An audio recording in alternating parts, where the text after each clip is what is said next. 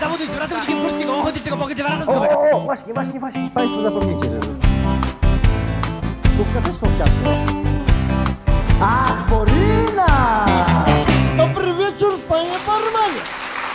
Znowu jestem na tyle książek, bo dziś będzie o czytelnictwie, o czytaniu w ogóle.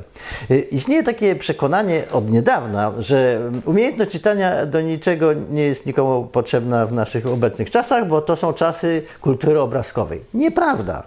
A jakby na Facebooku przeczytał, że y, dziś Kazimierz i Zdzisław mają urodziny. Y, Złóż im życzenia, daj im znać, że o nich pamiętasz. Jak pamiętasz, jak właśnie przypomnieli ci przed chwileczką, że mają urodziny, więc już kłamstwo, ale w tym kłamstwie byś nie mógł uczestniczyć, gdybyś nie umiał czytać, prawda? A ja, jak byś mógł przeczytać w gazecie, że ta ustawa, którą usiłujemy teraz z rządem, którą przeprowadzimy oczywiście z rządem, to przecież to jest taka ustawa, która mm, dotyczy tylko nieuczciwych. Jeżeli jesteś uczciwy, to nie masz się czego obawiać.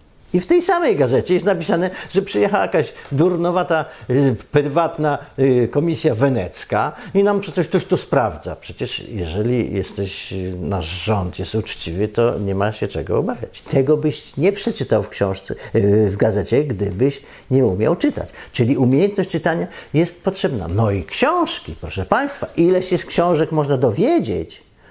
Na przykład, jeżeli idziesz, y, podchodzisz do barku, a okazuje się, że ten barek jest już apteczką, to znaczy, że jesteś stary. Dowiedziałem się z książki. Albo y, żart nawet y, w książce wyczytałem. Ja bym chciał umrzeć jak mój dziadek, spokojnie we śnie, a nie krzycząc, obawiając się, pełen lęku, przewracając się, tak jak jego pasażer. To wszystko z książek. No tylko, no te tytuły, proszę Państwa, no, no tytuły, no pisarze, no jakieś tytuły wymyślajcie. Konopnicka potrafiła napisać o sierotce Marysi i krasnoludkach. Wiadomo o czym książka jest, prawda? Czy na przykład jak to z Elnem była, też konop, było, też Konopnicka, prawda? Wiadomo o czym. Ale, a dają tytuły Seneka myśli. No co to za tytuł jest? No każdy myśli, prawda? Nie tylko Seneka myśli. No. Więc y, Marek Pacuła miał kiedyś taki zwyczaj, że chodził po księgarniach i pytał o płyty. Był taki wykonawca popularny wówczas y, bardzo, Tadeusz Chyła. I on pytał, wchodził do księgarni i pyta, czy są płyty Chyły? I kobieta odpowiadała, nie ma. A były? Też nie ma. Taki był test na to, czy ona słucha, co on do niej mówi. Na ogół nie słuchała. No i w związku z tym ja proponuję, właśnie taką mam propozycję, dla pana Mariusza Szczygła, którego książkę przeczytałem, który dostał Nikę, żeby zmienił tytuł. No bo jak może książka mieć tytuł nie ma? No przecież wchodzi się do księgarni, dzień dobry, y, czy jest nie ma? Proszę. Y, Pytam, czy jest nie ma. Y, Proszę pana, tu jest księgarnia.